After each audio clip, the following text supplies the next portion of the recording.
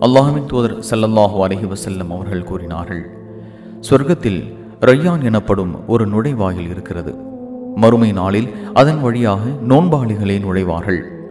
அவர்களைத் தவிர வேறு யாரும் அதன் வழியாக நுழைய மாட்டார்கள்.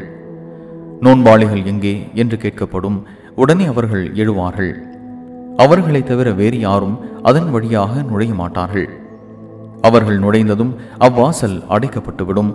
அதன் வழியாக வேறு யாரும் நுழைய மாட்டார்கள் இதை சஹல் பின் சாதரதி அல்லாஹன் அவர்கள் அறிவிக்கின்றார்கள். சஹீமுல் புகாரி ஆயிரத்து எண்ணூற்று தொன்னூற்றி ஆறு.